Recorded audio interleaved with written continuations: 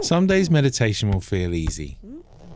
On others, it might feel difficult. The trick is to gently stay with it each time, no matter how it feels. Look for a place in your routine where this exercise can slot in easily.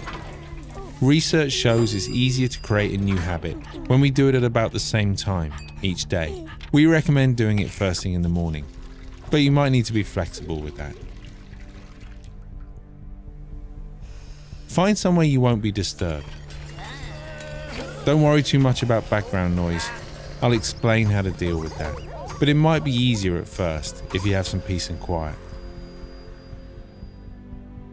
Make sure you're sitting comfortably before you start.